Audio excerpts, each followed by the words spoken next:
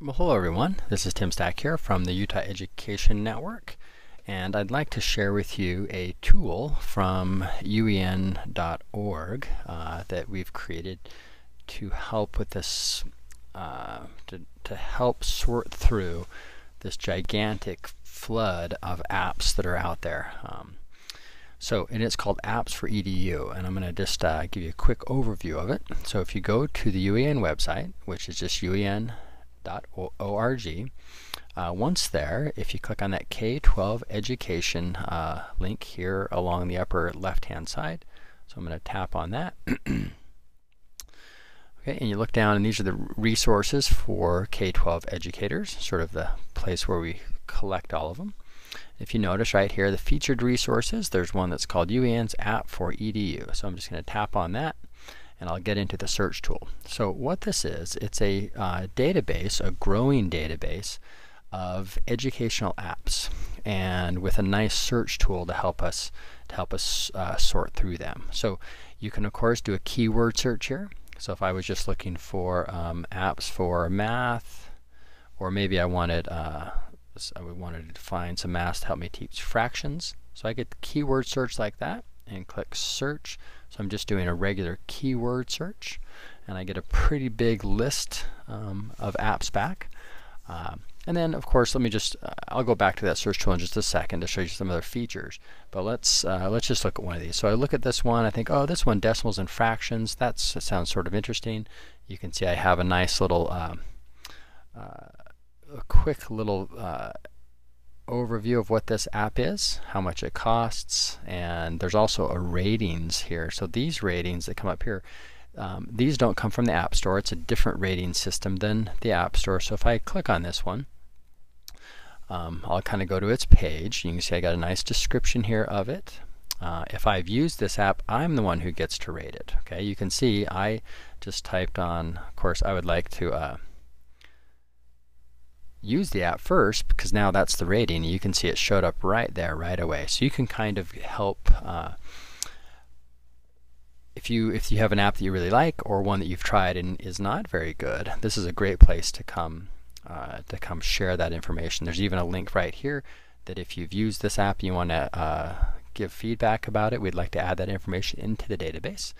Um, now, if I want to if I want to go get this app, you'll see that there's a, a little spot here that says compatible with and then it shows the the devices that it's compatible with. And if I'm using an iPad I'll just click on I'll just tap on that one that says iPad and that'll take me to the App Store um, right to this app's um, spot. There you go. So there's the decimal fraction so I can see the I can find out more information about it.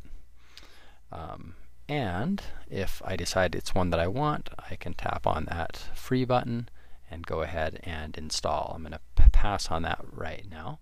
Um, okay, so it, it's sort of nice and convenient. Now, the, the thing that's nice uh, about this Apps for EDU database, I'm going to go back here and do a new search. Oops.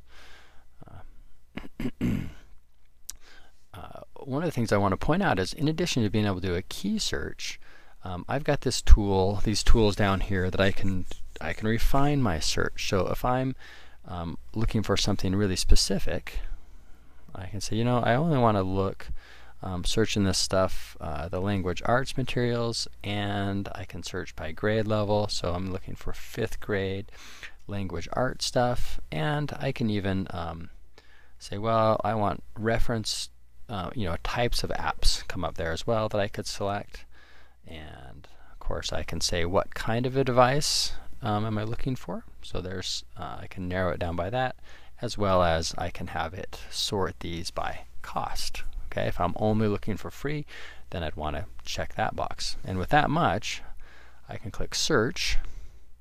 And now I'm searching um, all I did right was uh, fifth grade language arts okay? So here are some apps um, that have been correlated to the fifth grade language arts curriculum. All right, so same thing could happen if I said, oh, you know, I'm interested uh, in this Pictionary. Create as many words as you can with seven letters. Well, kind of a puzzle. So I can click on that, and if I wanted to download it now, I would click on this iPad uh, link right there, and it would take me straight to the iTunes store. Okay, so I can go back now. These apps that are in this database, in this Apps for EDU, EDU database, these are um, all apps that have been uh, suggested and recommended by Utah educators. So it's not uh, just like Google going out and searching all the apps that are out there. They're ones that have been recommended and put in here by an actual person. So it's not a, it's not the hugest database of um, educational apps, but it's one that's ever growing. Uh, and you can see across the top up here, you if you have an app that's not in here that you think is great, you can click Suggest an App, um, fill out a little form, uh, and we'll take a look at that and add it into this database. Okay, another resource that's uh, that's right here that I do I want to point out is this one that says Teaching Ideas. So here is a selection of um, resources for the iPad, and there's these are some really really good resources. So, if you want to go read some more articles, one of the one of the great uh, sources of educational technology uh, information and resources is Kathy Schrock. So you may have heard her name. She's been involved uh, in education for a long time.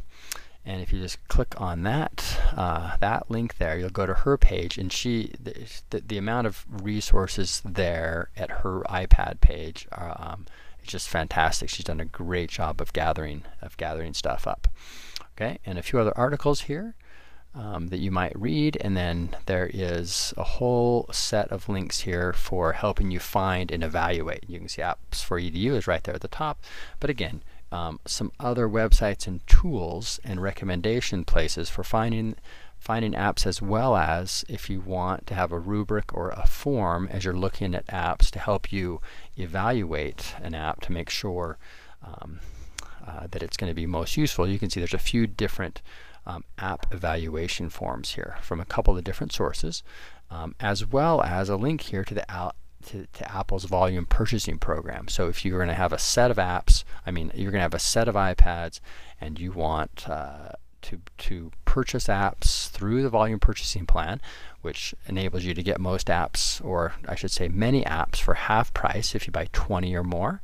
Um, there's some administrative uh, setup uh, uh, checklist that you have to go through to become part of Apple's volume purchasing program, but it allows you to um, to take care of all that in a nice organized way and be able to pay for apps with a uh, purchasing order. So that's if you want to go through, um, there's information there on that program. Okay. Also, um, some other great uh, iPad information further down the page here. So um, you can see some other good resources for learning how to use your iPad and um, look, there's a whole article here on understanding your side switch. There you go. Okay, so that's the sort of basics of using the Apps for EDU tool here at UEN. Okay, so take a look. Uh, a great a great source for sorting through this huge waterfall of apps that seems to be um, continually coming down on us. Thanks for listening.